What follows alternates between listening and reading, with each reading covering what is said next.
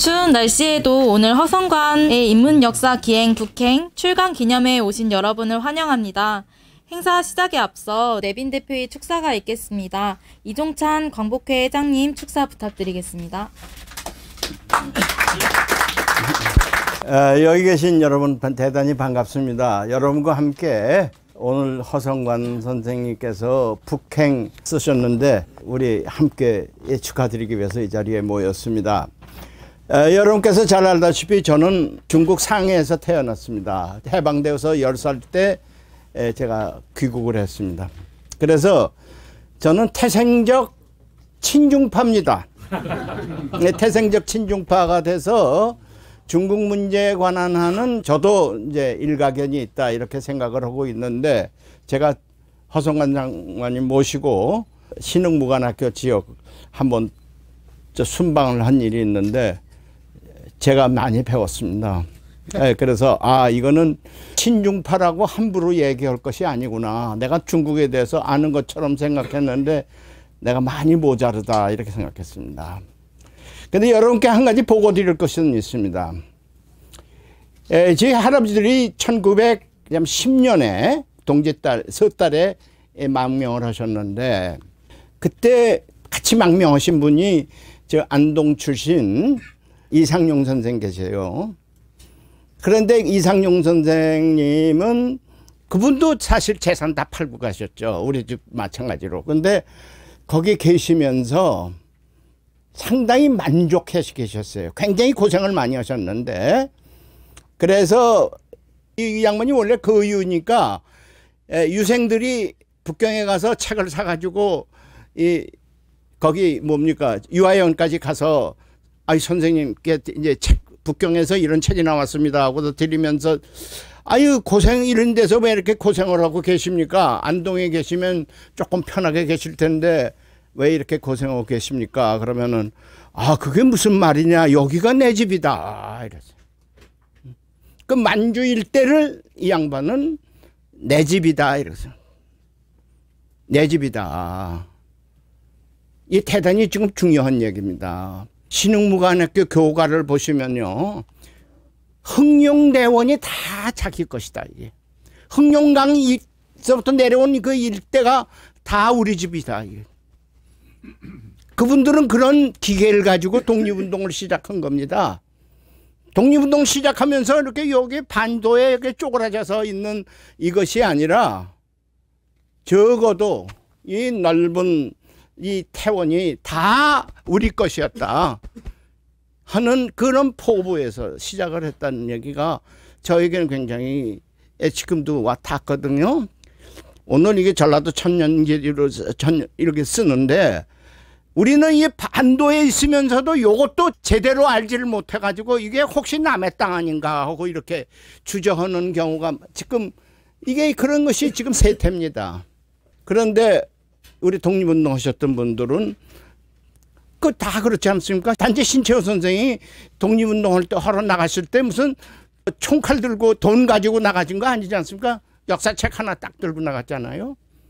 음, 그러니까 그분들은 역사를 아는 민족은 재생할 수 있다. 그러나 역사를 잊은 민족은 재생할 수가 없다. 이거 확고한 신념을 가지고 있었단 말이죠. 네. 그런데 오늘날 역사 교육이 이렇게 막 그냥 뭐 예 선택 과목으로 가두고 선택 하나만 하가 되어 버리고 역사를 다 잊도록만 잊도록 만든 나는 말이죠 지금 저출산도 문제지만은 출산하면 뭐 합니까 역사를 못 배워갖고 전부 출산 하나 마나한 국민이 되어버리는 거예요. 그래서 그런 가운데서도 이 한가람 역사연구소에서 조금이라도 더 좀 가르치자. 올바른 역사를 조금이라도 가르치자. 이거 교과서를 쓰셨는데 저는 오래전부터 제발 교과서 좀 쓰자 이렇게 얘기를 했어요. 그래서 그때 나온 게 그 어떻게 7천년 역사 그게 책이 제가 사서 저 우리 광복회 많이 돌렸는데 이거 저도 광복회 교지로 저 말하자면 하나의 저 나오면은 교과서로 쓰겠습니다. 음. 그래서 역사를 아는 것이 예, 우리의 민족 정기를 아는 것이다. 이렇게 생각이 됩니다. 예, 마지막으로 한 가지만 더 말씀드리겠습니다. 역사를 모르니까요. 요새 헌다는 사람이 이승만 대통령 축켜 세우는 거 전 반대하지 않습니다. 그 양반 애 많이 쓰신 분인데 거기다 뭘 갖다 붙이냐면 건국 대통령이다 이거예요. 이승만 대통령이 건국을 했다 이게요. 아 우리가 건국은 언제 했습니까? 4362 오늘 올해가 어떻게 되니까 4364년 된가 그죠? 응? 네? 그런 4,300년 전에 우리가 건국을 했는데 이제 48년에 건국했다고 이렇게 역사를 딱 토막 내 가지고 이렇게 토막을 내면 결국은 뭐가 돼요? 48년에 건국했다 그러면은 독도는 일본 땅이 돼요. 그렇죠? 왜냐? 우리 그 이전에 나라가 없었으니까. 예? 위안부 할머니가 우리 국민이 아닙니다. 그렇죠? 48년 건국했지 그 이전에는 요새 저 연세대학교 김모 교수가 뭐라고 그러지 아느냐 하면 48년 이전에는 우리가 천황폐하의 신민이었다. 이걸 자랑스럽게 생각하자 이렇게 얘기해요. 그렇다면 독, 위안부 할머니가 천황폐하의 신민입니다. 그죠? 우리가 뭐 때문에 그, 그분들의, 들이 우리 여성을 농락하고 인권을 침해했다고 우리가 감히 어떻게 얘기를 해요. 이런 전능아들이 지금 날뛰고 있습니다. 이런 저등아들이 날뛰고 있는 세상에서 그래도 역사를 찾겠다고 이렇게 한 페이지씩 한 페이지씩 교과서를 만드신 거 저는 이건 위대한 작업이라고 생각합니다. 우리 함께 이 위대한 작업을 하신 모든 분들에게 우리 박수 한번 쳐버립니다. 그래서 저는 이런 작업을 하는 가운데서 그래도 북행이란 책을 써서 우리들에게 마음의 양식을 주신 허성원 선생께 감사드리고 여기 여러분과 함께 열렬히 축하드리는 바입니다. 감사합니다. 네, 다음으로 권호령 전 중앙인사위원회 위원장님 축사 부탁드리겠습니다. 제가 원래 공직생활 33년 하면서 어, 오늘 허성관 장관님 뵌 거는 제가 행정자치부에 그때 노무현 대통령 저 정부 들어서 가지고 어, 차관보를 하고 있었을 때입니다. 그때 이제 김두관 장관 지금 국회의원 하시는 분 그러다가 이제 9개월 만에 어, 저희 장관님 오셔가지고 제가 그때 저를 이제 그냥 어여삐 봐주셔가지고 지금 이 자리에 이렇게 서서 요새도 가끔 이렇게 미식이 되는데 제가 옛날 경력을 뭐 제 말씀 드리려고 하는 게 아니라 어, 저희가 공직 생활 이렇게 하면서 어, 교직에 이렇게 교수님 하시던 분들을 이렇게 에, 좀 자주 접하게 되는데 그때 이제 저희가 조금 아쉬운 거는 이제 책과 이제 현실의 이런 괴리라 그럴까 그런 게 반드시 있습니다. 근데 장관님은 제가 모시면서 그런 게 전혀 없을 뿐만 아니라 어떤 경우에는 현실 그 저희가 지방 행정을 나름대로 총괄한다고 했는데 저희보다도 현실 감각이 더 아주 이 통찰력이 있으셨다 그런 말씀을 꼭 드리고 싶습니다. 그리고 제가 이 역사에 대해서는 잘 모르지만 제가 옆에서 뵈면은 퇴직 후에도 이 회계 분야에 대해서 끊임없이 연구를 하고 또 책을 쓰십니다. 근데 저는 이 세상에서 제일 존경스러운 분이 책을 한 권이라도 쓰시는 분이 제일 존경스럽습니다. 저는 그 말하기도 어려운데 이거 어떻게 이렇게 문필로 이렇게 하는지 정말 이렇게 부끄럽게 생각을 하고요. 그 다음에 제가 마음속으로 정말 이 정말 만주벌판 저기 하는 거는 저도 그냥 역사적 배경이 없어도 어렸을 때서부터 우리가 정말 민족 그 제일 안타깝게 생각한 것이 만주벌판을 우리 생활 무대로 하고 좀 죄송한 말씀입니다만 저희가 살고 있는 여기는 그냥 이렇게 저 뭐라 그러나 휴양지로 좀 썼으면 어땠을까 하는 그런 그 정말 이건 역사적 배경 이런 거 없이 정말 그 어려서부터 이렇게 마음속으로 가지고 있어서 지금 저희 제가 있을 때는 그걸 못 이루지만 선조들께서 이렇게 해오시던 것을 중간에 저희가 안타깝게도 이렇게 단절을 했지만 저희 후손이 뭐 50년, 100년이 아니라 언젠가는 이 만주벌판을 이렇게 저희가 우리가 주무대를 해서 중국과 일본을 우리가 양쪽에 딱 이렇게 거느리는 뭐 뭐 거느리기까지는 안 하지만 뭐 이렇게 저희가 균형 이렇게 잡을 수 있는 그런 세상이 꼭 오리라고 마음속으로 믿을, 믿고 있었는데 여기에 이렇게 제가 존경하는 우리 저 회장님 이렇게 말씀 듣고 보니까 그 확신을 갖게 돼서 오늘 장관님한테 정말 이 부분에 대해서 감사드리고 어, 장관님이 몇 년 전에 이렇게 돌아 저이 여행길을 하시면서 정말 말씀하시는데 저는 도저히 알아들을 수 없는 그런 부분인데 역사적 현장에 가서 보니까 중국과 이 고구려 우리 것은 완전히 다르다 하는 그런 말씀을 갖다가 확실히 하시는 걸로 보고 아 이게 우리 후손이 가더라도 저희가 역사 유물이 문자나 유, 유물이 저희가 항상 아쉽게 생각하는데 그런 부분이 우리가 우리 후손들이 되찾는데 큰 그런 도움이 되겠다는 확신을 가졌습니다. 오늘 하여간 어, 저 두서없이 이렇게 말씀드려서 죄송하고 오늘 주말 이 자리를 빌어서 다시 한번 우리 제가 모셨던 허성관 장관님이 예, 위대하시는 걸 갖다가 제가 여러분 앞에서 다시 한번 확인 드리고 여기 오신 분들 정말 너무 존경하고 사랑스럽습니다. 감사합니다. 네, 다음은 배국환 전 기획재정부 제2차관님 축사 부탁드립니다. 저 갑자기 예정이 없이 또 이게 축사를 하게 됐습니다. 허 장관님께서 본래 역사 인식이나 이 분야에 굉장히 관심이 많으신 많으, 많으시다는 걸 여러분 잘 아실 텐데 오늘 이렇게 북행이라는 책을 이렇게 내시게 된 거에 대해서 대단히 그 축하를 드리고요 고생도 많이 하셨겠습니다.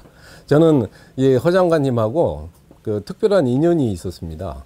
제가 기획재정부에서 오랫동안 관료 생활을 했는데 어, 우연히도 허 장관님을 만나려고 그랬는지 어땠는지 하여튼 어, 행, 저기 기재부에서 행자부로 1년 한 그때 한 4개월간 이게 파견을 나와 있었습니다. 지방재정국장으로 와 있었을 텐데 그때 처음 뵀어요. 그런데 제가 저한테 지방재정에 관한 모든 권한을 거의 다 주셨어요. 저는 관료 생활을 제가 한 34년을 했었는데 제가 이런 지휘관을 못 봤습니다. 대부분 웬만해서 안 줍니다. 밑에다가. 권한을 안 내려주는데 거의 다 주셨어요. 그래서 제가 그때 짧은 시간이었지만은 대단히 많은 일을 이렇게 할 수 있었다. 그래서 저, 저는 호장관님한테 그, 그 당시에 그때 그 기억을 잊을 수가 없습니다. 그 이후로 또 이제, 어, 다시 저는 기재부로 돌아왔지만은 그 이후로도 가끔 이제 만나 뵈면은 가끔 이제 같이 또 이렇게 역사 기행을 가기도 했어요. 같이 이렇게 답사도 하면서 역사에 대한 인식도 저도 새롭게 하고 하면서 이제 많은 걸 배웠는데요. 그 덕인지 몰라도 저는 요즘 이제 나와가지고 어, 그 인문학 강의를 하게 됐습니다. 사람들한테 좀 재능 기부 차원에서 하게 됐는데 다 이게 허장관님 덕입니다. 그래서 감사드리고요. 어, 특히 그 이런 역사 기행 특히 우리 이덕일 소장님하고 같이 이렇게 하고 계시는데 저는 이 두 분이 참 이렇게 어렵게 이렇게 역사 이런 문제에 대해서 이렇게 역사 인식을 새롭게 하시기 위해서 고생하시는 걸 보고 굉장히 여러 가지 많이 느끼는 바가 많습니다. 항상. 그래서 감사하게 생각드리고 앞으로도 더욱 더 정진해 주시기를 부탁을 드립니다. 축하드립니다.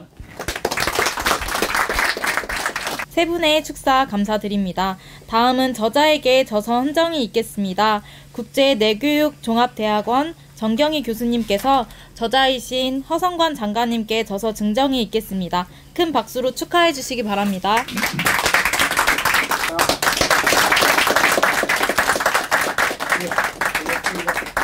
예, 원래 이 출판 기념회가 잘못하면 민폐가 돼가지고 대단히 죄송스러운 일인데요. 우리 그 학교 있을 때 보면 무슨 교수님들 환갑이라고 무슨 화갑 기념 뭐 정년퇴임 하면 정년퇴 그거 후배 교수 진짜 괴로운 일이거든요. 그래서 저 일체 그걸 안 했는데 이번에는 또 출판 기념회를 하자고 그러니 아마 나이가 좀 많아서 그러나 이 생각을 하면서도 사양을 하다가 그럼 한번 해봅시다 하고 그러다 보니까 여기저기 이렇게 연락을 하게 됐다는 말씀을 드리고 우선 그 날씨도 춥고 이러는데 오신 분들 모두 정말 고맙습니다. 특히 그 연세 드신 분들 더더구나 고맙고요. 또 일을 하는 시간에 시간을 내서 와주셔서 더욱더 고맙다는 말씀을 어, 드립니다. 그리고 요새 출판사 환경이 얼마나 어렵습니까? 책이 안 팔려가지고 이제 이런 어려운 상황 속에서도 어, 책을 만들어 주신 그그 양 대표한테 특히 또 감사드리고 또 이렇게 구석에 이렇게 엎드려 갖고 연구소라고 하면서 애를 쓰면서 또 출판 기념에 또 주관까지 해주시는 한가랍 역사문화연구소 이덕일 소장에도 정말 심심한 감사를 어, 표합니다. 근데 막상 책을 내기는 했지만은 저는 이 여행의 재미라는 걸 전혀 모르는 사람입니다. 세대가 그렇지요. 제가 66학번이고 70년 졸업을 해서 그다음부터는 먹고 사는데 바빠가지고 뭐 먹고 살게 아, 바쁘지 않을 때는 일에 치여가지고 여행을 간다? 그 상상도 못하고 살았습니다. 그래서 이 역사답사를 2013년에 가기 전에 제 기억에 통상적인 관점에서 여행이라고 할 수 있는 것은 딱 두 번을 했습니다. 한 번은 그 업무 출장 빼고요. 한 번은 아이들 데리고 미국에서 교수하고 있으면서 플로리다의 디즈니 월드에 한번 간 것. 그 다음 또 하나는 1987년도 귀국하면서 가족 데리고 하와이에 오는 길에, 귀국하는 길에 하와이에 일주일 있었던 것 밖에 없습니다. 그리고 여행 재미 전혀 모릅니다. 아, 고등학교 때 수학여행 간거 있네요. 그때 물론 경주 갔죠. 경주 갔는데, 그러다가 이제 정년 퇴직하고 어떻게 어떻게 하다가 2013년에 이 한가람 역사연구소에서 문화연구소에서 주관하는 중국 답사 여행에 같이 가자고 그래서 그냥 친구 따라 강남 간다고 같이 합류를 했어요. 그런데 그때 간 게 북경에서 내려가지고 대동으로 갔다가 대동에서 태원으로 갔다가 산서성 거기에서 산서성 중간으로 가로지르는 태양산맥 그 중간을 흐르는 분화 이걸 따라서 쭉 내려가서 그 끝에 가면 하남성이거든요. 그래서 은나라 그 마지막 수도였던 은어 그걸 보고 정주에서 귀국하는 일정이었는데 야 이거 정말 재밌더라고요.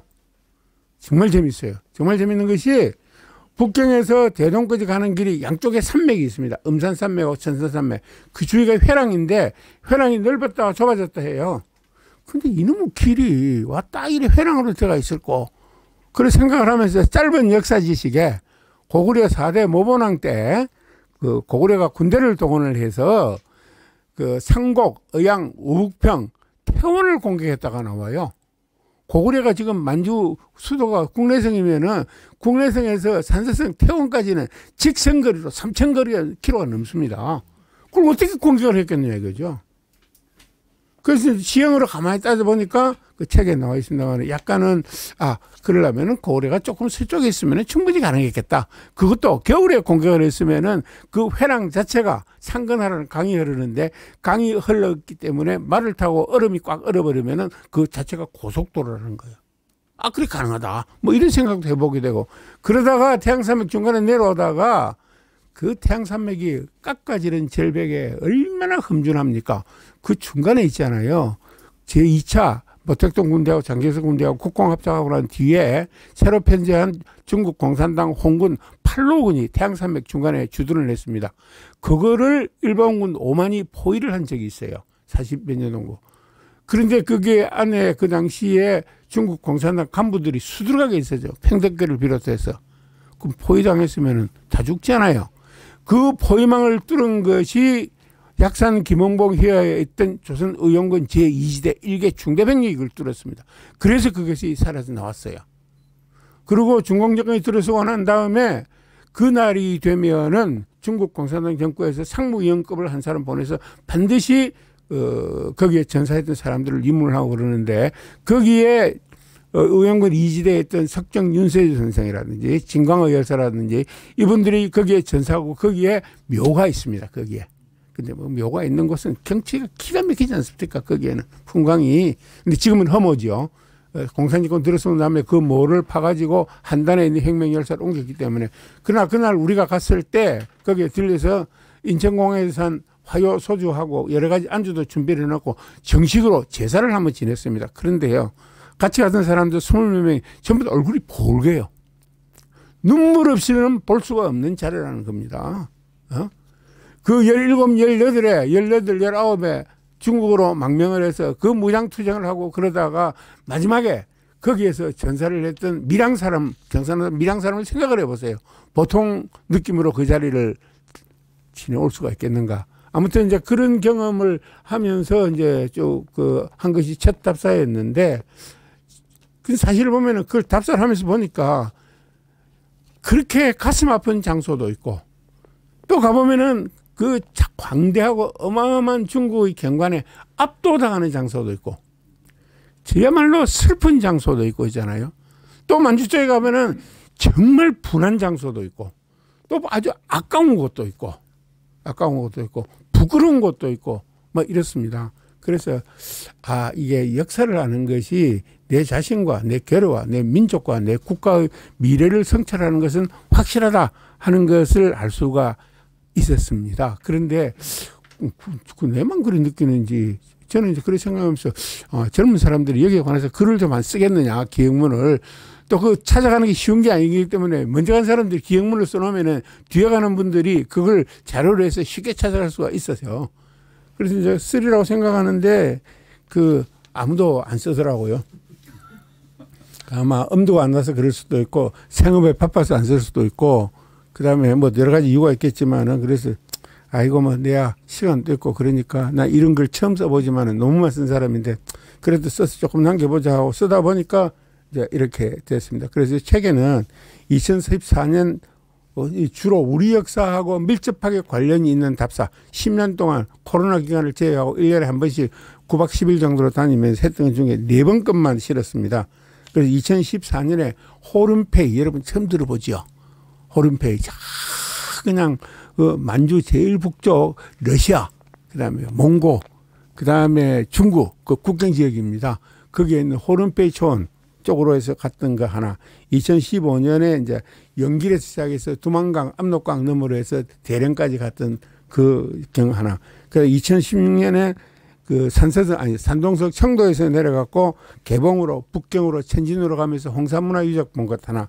마지막에 이제 그거 끝나고 코로나 끝나고 작년 5월 달에 그, 그 흑룡강성 동남부 쪽 소위 삼강평원 갔던데 그걸 갖고 이래 책을 한 권 내게 됐습니다.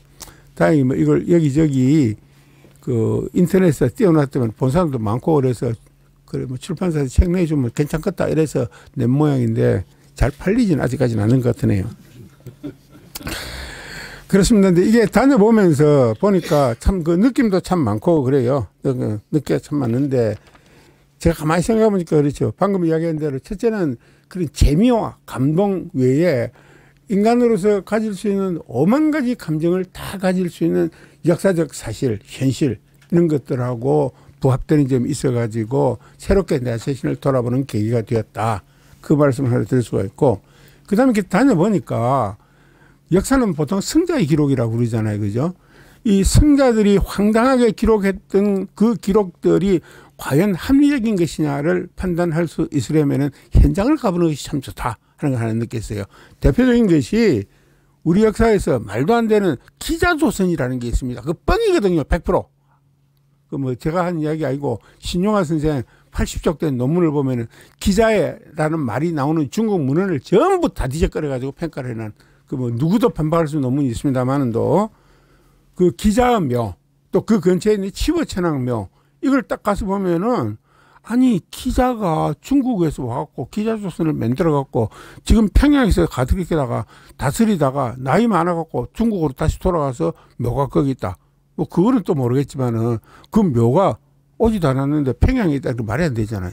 그 기자가 활동하는 그 지역 거기에 바로 기자묘가 있는 것을 우리 눈으로 보잖아요. 시우천왕 이거 전설이냐 도깨비냐 아니에요. 그 산동성하고 하남성하고 경계에 치우천왕 묘가 있어요. 가서 보면은. 근데 그게 치우를 중국 사람들이 역사에다가 요새 그러잖아요. 전부 주구 역사로, 주 조상이라고. 그런데 여러분, 치우 그 한자 말을 그 책에 써놨습니다. 보면은 치우는 더러운 벌레 같은 놈이라는 뜻이거든요. 한자말로는. 아, 어느 놈이 지기 조상을 더러운 벌레 같은 놈이라고 표기하는 사람이 있습니까? 그러니까 절대로 한족 조상이 될 수 없는 거였다든지 이런 것들을 현장에서 보면은 그 역사 스스로의 합리적인 근거가 맞느냐 틀리냐 하는 그것들을 알 수도 있겠더라. 그것도 생겨보면 세 번째는 있잖아요. 이게 우리나라 한족들이, 한민족들이 얼마나 끈질기고 생명력이 대단한지를 알 수 있는 것을 그냥 피부로 느끼게 됩니다. 여러분, 만주에 가보면 있잖아요. 대략 치치하울 북쪽 한 100km 그 이남까지는 다 논이 있어요. 낮은 곳에는 전부 논이에요. 물을 되기 어려운 거는 다 옥수수밭 아니면 콩밭이에요. 그 논은 바로 우리 민족들이 개척한 겁니다. 논농사를. 어, 병자호란 때 포로를 잡혔던 강홍립 장군의 부자들 중에 부하들 중에 남은 사람들이 그걸 한 거고 그 뒤에 그 뒤에 그 소현세자가 볼모로 갔을 때 소현세자 부인 세자빈 강씨가 그 우리 포로를 잡혔던 사람들 싸서 어, 농사를 지어가지고 퍼뜨린 그 벼농사. 그 다음에 일제 강점기에 우리 독립투사들 항일 가문에서 만주에 가가지고 만들었던 논. 그것들이 지금 전부 논이돼가 있는 거예요. 특히 상강평원은 대략 흥룡강수 동남부지만은 면적이 한 9만 제곱킬로미터 평방킬로미터래요. 우리 남한만 합니다. 단원이에요, 단. 단원. 그것이 1920년대 중반까지만 해서도 전부 늪지였어요. 늪지였어요. 그런데 그게 이제 우리 그 조선족들이 우리 동포들이 전부 이주해서 개척한 것이 그 단원이거든요. 그 끈질긴 삶, 그 개척, 그걸 우리가 뽐받고 배워야 된다는 것입니다. 그러다가 호른페이 촌 그 넓은데 무려 우리 대한남북 한그 보탱보다 넓은 지역인데 그 지역에는 그 기록을 보면 있잖아요. 한족들, 조선족이 8천 명 산다고 되어 있습니다. 근데 그 호른페이가 어제 아래 중국 사람들이 써놓은 글을 보니까 지금은 농업이 굉장히 많이 그 되고 있는데 그 농업은 전부 조선족들이 개발을 해서 이식해서 시작한 것이 호른페이 초원의 농업이다 쓰는. 이걸 참 대단한 겁니다. 그때를 다시 따라보면 눈물겨운 일이지만 그 끈질긴 생명이 놀라지 않을 수가 없다 하는 거고요. 그 다음에 이렇게 생각해보면 요새 한류 처음에는 너 별거 아닌 건줄 알았어요. 한류. 그냥 애들, 젊은 애들 나와서 펄떡펄떡 춤추고 몸 비틀고 그게 한류인 줄 알았는데 세상에 몰라 요새는 또 한류가 하나 있더라. TV만 틀면은 퍼먹고 노닥거리는 기사밖에 안 나오거든요 요새 방송에. 그것도 깝깝하긴 하다마는도 이게 그 호른베이 초원에 가서 있잖아 천당 초원인가 아주 그 어마어마한 초원에 그 게르 초원에서 자는데 아니 놀고 저 백주 한 잔 마셨는데 모닥불 피워놓고 어디서 노래가 그냥 막 들려 광란을 해서 중국 애들이 노는데 그게 싸이의 강남 스타일이에요. 싸이의 강남 스타일. 그거 뭔지 아십니까? 호른페이처 남쪽에 그 웅크족 자치족 오르고와 민속촌에 딱 갔는데 그, 그, 저기, 기념품 파는 가게 아줌마가 우리 보고 뭐라냐. 안녕하세요. 그러잖아요.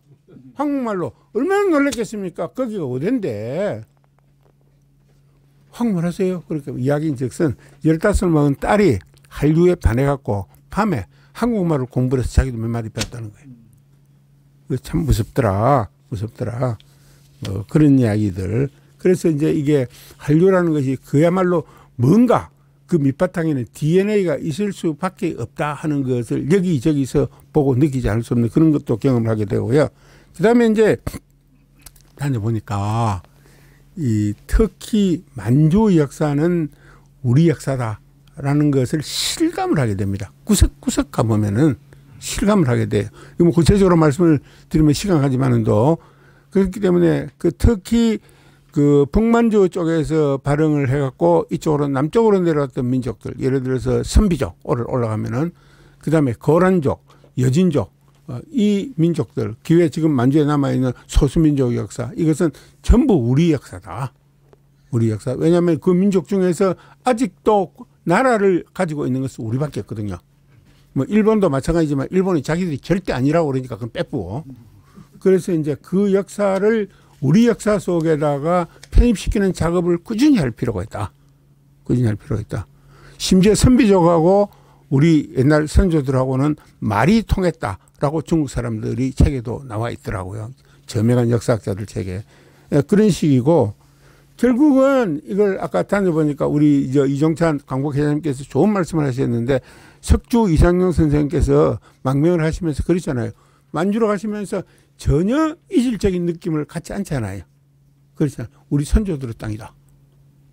그러니까 결국 이게 이제 어찌 보면은 우리 역사가 융성한 거는 결국 어, 대륙성이 충만할 때 융성을 했는데 앞으로 이 대륙성을 회복하는 우리 역사 운동 이것들이 대단히 중요하다. 그렇잖아요. 심지어 이것이 단순히 당군 요소뿐만 아니고 그 당군전 우에서 신시 배달구까지 올라가고 특히 최근에 소남산 유적들이 발견돼 갖고 이 소남산 유적에서 어마무시한 아름다운 옷기들이 쏟아져 나오는데 그것은 홍산 문화보다 더 2000년 정도 빠른 거거든요. 빠른 겁니다. 그래서 이제 그런 역사들 그래서 그 대륙성을 어떻게 우리가 잘 회복을 해서 활용을 해서 물론 역사적 강약하고 현실 강약하고는 다르기 때문에 이게 옛날에 우리 할배 땅이다 하고 주장할 필요까지는 없죠. 우리는 활용만 하면 되는 것이지요.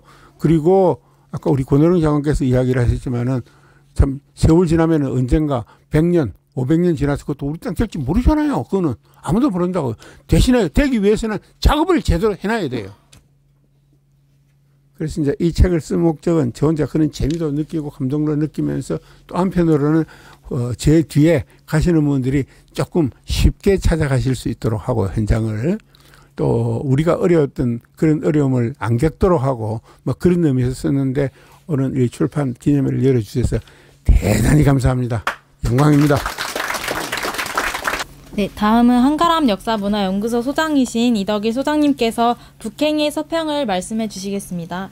두 번 나오면 안 되는데 불가피하게 두 번 나오게 됐네요.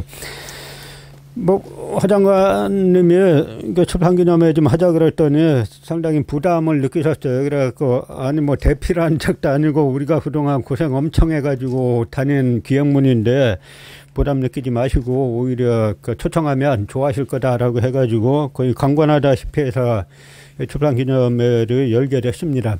그러니까 저희가 주로 답사 다닌 곳은 중국은 다 우리 역사하고 관련 있는 곳을 다 다녔어요. 이게 만주뿐만 아니라 남쪽도 중국 남쪽도 다 우리 역사하고 관련 있는데요. 사실은 역사는 문헌과 답사가 일치돼야 됩니다. 그러니까 문헌이 시줄이라면 답사는 날줄이에요. 근데 우리나라 역사학자들은 답사를 안 다녀요. 국내만 조금 다니지. 그러니까 어떤 일이 있냐면 저희가 옛날 어떤 기자를 기자와 함께 갈석산을 갔어요. 갈석산이 이제 그 지금의 중국과 우리 역사를 나누는 규준이 보면은 아까 장관님 말씀하신 태양산맥이 이렇게 있고 그다음에 연산산맥이 이렇게 있어요. 그 연산산맥 끝이 갈석산인데 여기까지가 우리 강역이고 여기가 그다음에 그 안쪽은 화북평원이라 그래서 거기는 이제 중국사의 강역입니다. 근데 요즘 우리나라에도 일부 몰지각한 사람들이 자꾸 화북평원 안쪽도 우리 땅이라 그러는데 우리 건 우리 거라 그러고 중국 건 중국 거라 그래야 말이 통하지 중국 것도 다 우리 거라 그러면 그게 오히려 역사를 우리 역사를 살리는 게 아니라 더 망치는 길이에요. 그런데 원래 답사 세계의 위대한 역사학자들은 다 답사를 다녔어요. 동양의 가장 위대한 역사학자 치면 여러분 누구 말씀하십니까?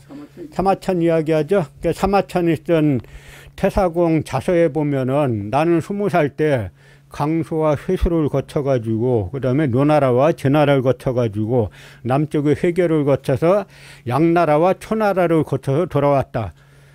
사마천이 서기 전 145년경에 태어난 사람이에요. 지금으로부터 2000, 한 200여 년 전의 사람이죠. 또 서양의 역사, 서양 역사의 뭐 아버지라 그러면 누굽니까? 헤로도토스가 있죠. 헤로도토스의 역사에 보면은 헤로도토스는 사마천보다 약 300년 전에 400년 전에 태어난 사람인데요. 서기전 484년경에 태어난 사람인데 그때 이집트에 가가지고 이집트에 피라미드 짓는 걸 목격하고 나일강을 목격하고 그러고 이제 기획문을 다 남겼어요.